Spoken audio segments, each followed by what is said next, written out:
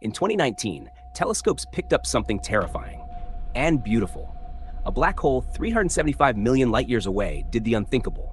It reached out and tore a star apart. This wasn't just any star, it was massive. And the black hole devoured it slowly over months. But here's the part that stunned scientists. As the star was ripped apart, the black hole created a cosmic jet. It fired a beam of energy directly at Earth. This wasn't just radiation, it was a focused stream of particles moving at nearly the speed of light. It was like the black hole noticed us. NASA called it a tidal disruption event, something that happens when a star gets too close.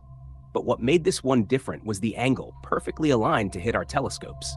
Some think it was chance, others think it was a warning. Either way, what we witnessed was raw power.